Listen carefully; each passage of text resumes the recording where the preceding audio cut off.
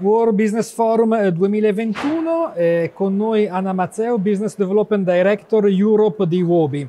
Eh, buongiorno Anna, cosa ci buongiorno. puoi dire di questa edizione 2021 del World Business Forum di Milano che è appena terminata?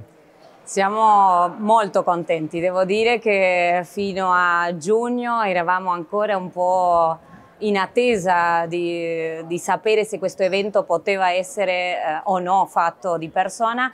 Per fortuna siamo qui, è un'emozione enorme trovarci nuovamente con i clienti. Si sente questa allegria, si sente la felicità di essere insieme pur con mascherine, con tutti i protocolli, Covid. Eh, siamo insieme, questa cosa è quella che conta. Devo dire che l'evento sta andando benissimo abbiamo appro approx 1200 persone in sala, eh, niente, siamo felicissimi.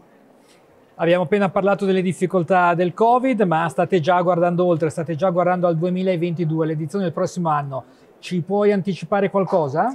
Anticipo qualcosa, infatti è stato lanciato durante questa edizione, quella del 2022, come sempre ci portiamo avanti.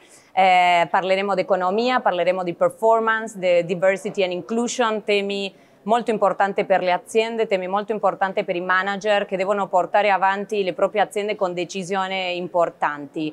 Eh, ci aspettiamo un grandissimo evento, pensiamo che il 2022 sia finalmente l'anno della ripresa e ci vediamo qui sicuramente l'anno prossimo. Anna, il nostro tempo a disposizione sta terminando, eh, buongiorno e al 2022. Grazie.